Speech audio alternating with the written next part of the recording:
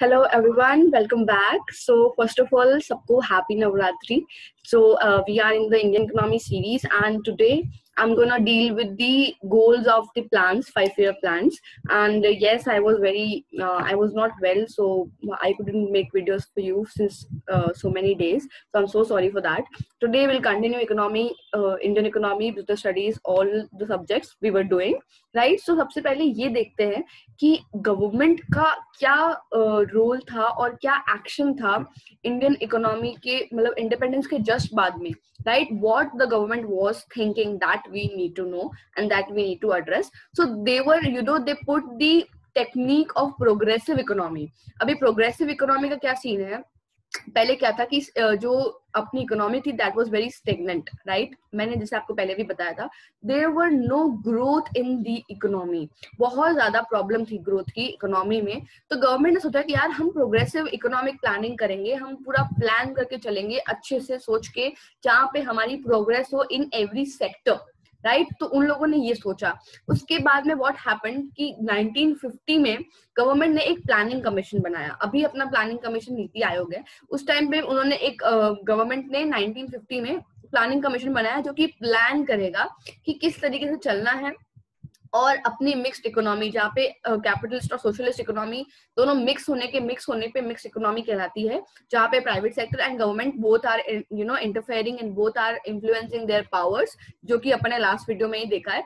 तो गवर्नमेंट ने बोला कि हम मिक्स इकोनॉमी रखेंगे और हमने एक प्लानिंग कमीशन फॉर्म किया है वो विल प्लान एंड वो विल सी कि क्या क्या गोल्स हम रख सकते हैं और किस तरीके से हम परफॉर्म कर सकते हैं। Now on that note they are like so many goals of five year planning अभी उन लोगों ने सोचा कि हम हर साल, हर पाँच साल में एक गोल सेट करेंगे अपना। एक सबसे सुपीरियर टारगेट होगा कि इस टारगेट पे हमको इस तरीके से वर्क करना है। Right right? तो अभी see if if you guys don't know about two types of goals there are two types of goals right there are long term and short term अभी matlab का मतलब name suggests aapko lagta आपको लगता होगा कि लंबे सालों के लिए मतलब पाँच सालों के लिए नहीं hota मतलब होता है they are like thirty forty years for long lasting upcoming future अपना आने वाला जितना भी लंबा चौड़ा है, उसकी बात होती है लॉन्ग टर्म गोल में। और शॉर्ट टर्म गोल में जो है, ये फाइव ईयर प्लान वगैरह सब कुछ आते हैं, जो कि छोटे छोटे प्लान हैं। पाँच साल का एक गोल बनाया आपने कि हमें इस इस साल एग्रीकल्चर पे फोकस करना है, इस साल हमें पोवर्टी पे फोकस करना है, इस साल हमें अनएम्प्लॉयमेंट पे फोकस करना है। तो ये आपने शॉर्ट टर्म गोल्स बनाए हैं, जो कि फाइव ईयर प्लान में के में इंक्लूड होते हैं। At the same time long term का मतलब कि यू नो चार पाँच तरह के फाइव ईयर प्लान सपोज़ 2012 से लेकर 2017 वाला भी लॉन्ग टर्म में इंक्लूड है. उसके पहले वाले भी सपोज़ 2005 से लेकर 2010 तक वाले भी उसमें इंक्लूड होंगे.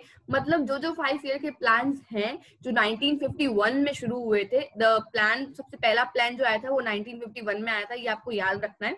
ऑनवर्ड्स उसका चलते हुए 2017 वाज द लास्ट प्लान उसके बाद में अपने अपन ने नीति आयोग को you know they have form the commission and they have started planning accordingly तो basically what I mean is कि दो तरह के प्लान होते हैं आपको अच्छे से याद रखना है। लॉन्ग टर्म मतलब कि बहुत लंबा प्लान जो कि बहुत लंबा चलता है। शॉर्ट टर्म मतलब शॉर्ट टर्म जो है वो फाइव ईयर प्लान के गोल्स में आता है राइट right? अब let's quickly see the goals we need to see the goals of the economic planning uh, sorry five year uh, plan के क्या क्या गोल्स अपन ने ऑलरेडी सेट किए हैं, वो अपन को देखना है।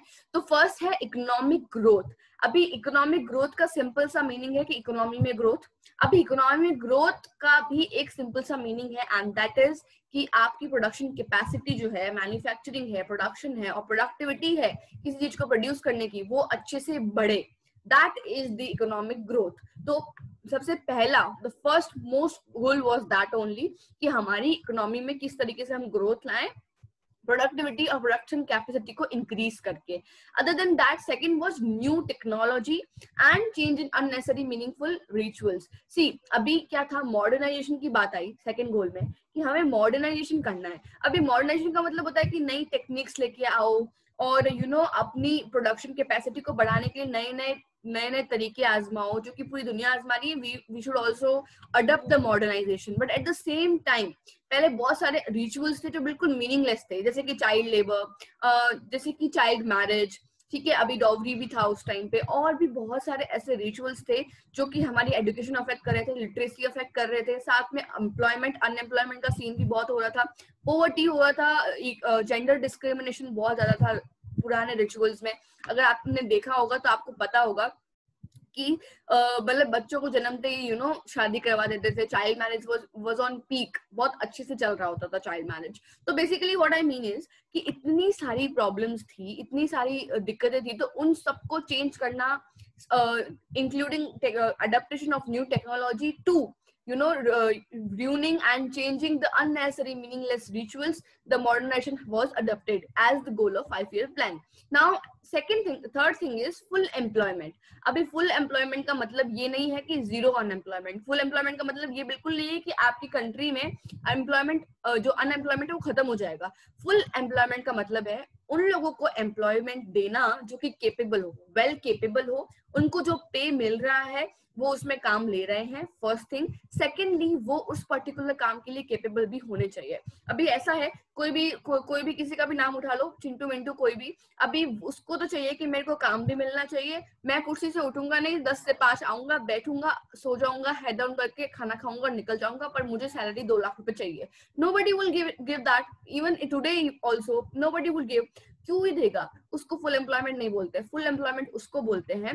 जो जितने केपेबल लोग हैं, उनको, उनकी हिसाब से, उनकी एलिजिबिलिटी क्राइटेरिया के हिसाब से आपको जॉब देनी है। जैसे कि आज भी अपन इंजीनियर्स बहुत बदनाम हो रखे हैं जॉबलेस कैपेसिटी के लिए बहुत सारे लोग इंजीनियर्स हैं जो कि वेल केपेबल है पर उनके पास में काम नहीं है कंपनियाँ वैकेंसी नहीं निकाल रही है। तो that is not full employment तो फुल उन लोगों को काम नहीं मिल रहा है, ये ये अपन लोगों की गलती है। पर जो निकम्मे हैं, जिनको कुछ काम करना ही नहीं है, जिनके पास में कोई केपेबिलिटी नहीं है नॉलेज ही नहीं है तो that is they are not included including you know included in the full unemployment now the thing is fourth one is equity see अभी इसका बहुत सीधा सा मतलब है कि हमेशा इक्विटी इक्वालिटी इक्विटी का मतलब जेंडर से तो नहीं होता है ऑब्वियसली कि यार मेल फीमेल को दोनों को सेम राइट मिलने चाहिए, वो तो है ही।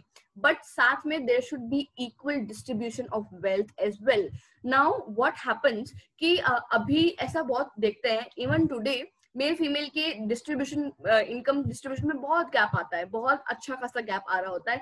इवन इन बॉलीवुड हीरोइंस को बहुत कम पे मिल रहा होता था पहले और अभी uh, जो मेल होते थे जो हीरोज होते थे उनको ज़्यादा मिल रहा होता था। इवन इन बिग कंपनीज़ जो सीईओज है वगैरह है एक वो होता है मेल ईगो वाला थिंग तो वहाँ पे हमारा ये गोल भी था कि हम जब अपने गोल्स बांटेंगे तो fourth fourth good will be what कि अच्छे से डिस्ट्रीब्यूशन होना चाहिए equal distribution of wealth now the fifth one was self reliance अभी सेल्फ रिलायंस सेल्फ रिलियंस कुछ भी बोलो, इसका मतलब सिर्फ़ इतना सा है कि हम हम किसी पे डिपेंडेंट ना रहे। We have to be self dependent अभी जैसे कि अपन लोग बहुत ज़्यादा इम्पोर्ट्स पे डिपेंडेंट रहते हैं कि यार हमारे इम्पोर्ट्स जो हैं, हम जो भी बाहर से सामान मंगाएँगे, हम उन पे बिल्कुल रिलाय करते हैं और उन पे ही फोकस करते आ रहे हैं। तो one thing which is there कि यार हम अपना डोमेस्टिक प्रोडक्शन इतना स्ट्रॉन्ग करें कि हम खुद पे डिपेंडेंट रहेंगे, हम अपनी कंट्री के गुड्स पे डिपेंडेंट रहेंगे we will not dependent on the other countries goods and other countries stocks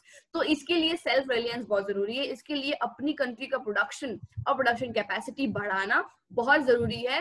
This was the fifth goal of the five year plan and all these five are extremely extremely important you guys need to know पाँच ही है ठीक है? और कुछ भी नहीं है आपको बस उसको एक्सप्लेन करना है बट ये पाँच गोल्स एक्चुअली बहुत इंपॉर्टेंट है।